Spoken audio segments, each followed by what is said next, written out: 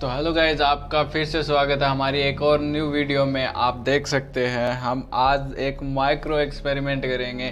Microscope से आप, आज हम देखेंगे कि पत्ती के अंदर क्या होता है, हमारी स्किन के अंदर क्या होता है माइक्रोस्कोप की मदद से आज देखेंगे क्या होता है, और दही में जो बैक्टीरिया रहते हैं, वो भी देखेंगे। बैक्टीरिया क्या दिखाई देते हैं माइक्रोस्कोप से।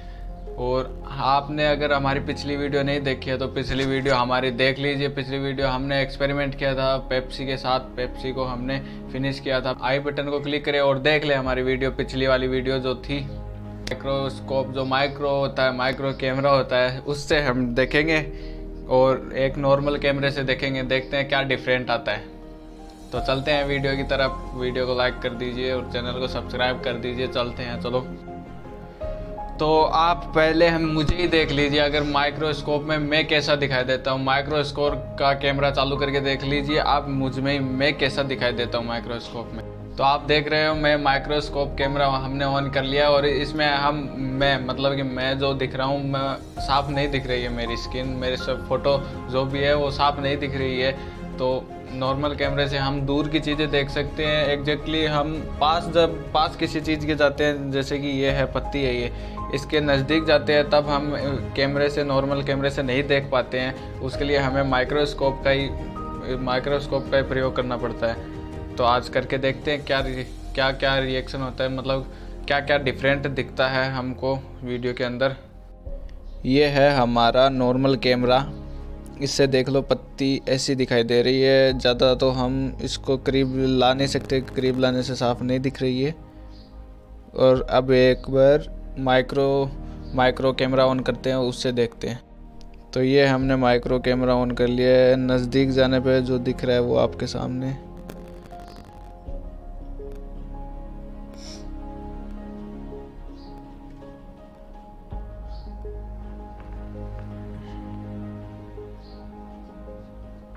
ये जो पत्ती की नस है नशे है, वो वो एग्जैक्टली साफ़ दिखाई दे रही है इससे।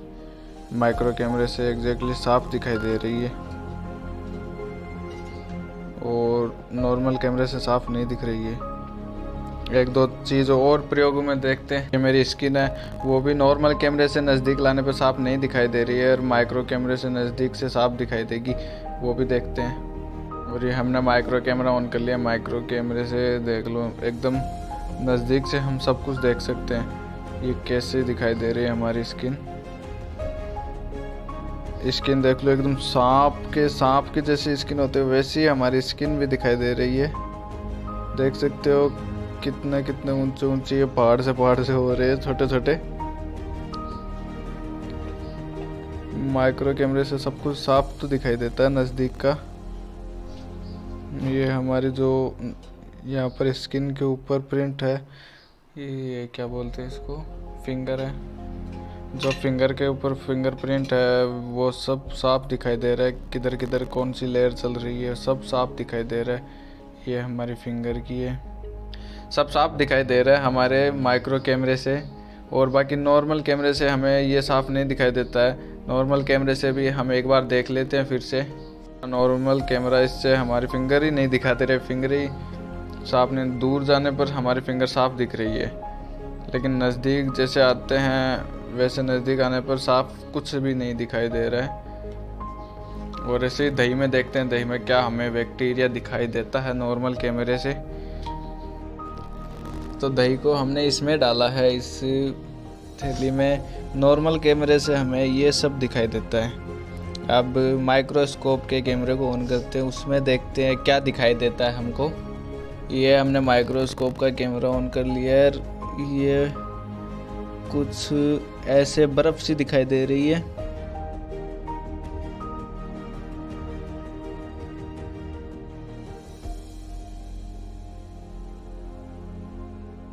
तो आज की वीडियो में बस इतना ही है। तो आज की वीडियो को यहीं पर एंड करते हैं। आपने देख लिया कि माइक्रोस्कोप से हम जो चीज़ देख सकते हैं, वो नॉर्मल कैमरे से हम नहीं देख सकते हैं। आपको पता है कि माइक्रोस्कोप क्या है? और माइक्रोस्कोप ये तो हमारे फ़ोन का माइक्रोस्कोप था। अगर हम रियली में अगर ये साइंटिस्ट माइक्रोस्कोप यूज़ लेते हैं, उससे देखें तो हमें और भी बेटर दिखाई देगा। लेकिन हम अभी तो कैमरे के सेंसर से ही इससे ही देख रहे हैं। जो अभी नए एंड्रॉयड फ़ोन आ रहे हैं ना, उनमें ये फीचर आ गया है कि माइक्रो कैमरा आ रहा है तो हमने सोचा कि इससे देखते हैं क्या क्या दिखाई देता है हमें। तो आपने देखा कि माइक्रोस्कोप से हमें क्या दिखाई देता है? तो देख लिया आपने वीडियो में तो वीडियो को लाइक कर दो और चैनल को सब्सक्राइब कर लो। आगे भी और ऐसी ऐसी इंटरेस्टिंग वीडियो लाते रहेंगे। इसके लिए चैनल को सब्सक्राइब तो करना बनता है। चैनल को सब्सक्राइब ज़रूर कर लीजिए। तब तक के लिए बाय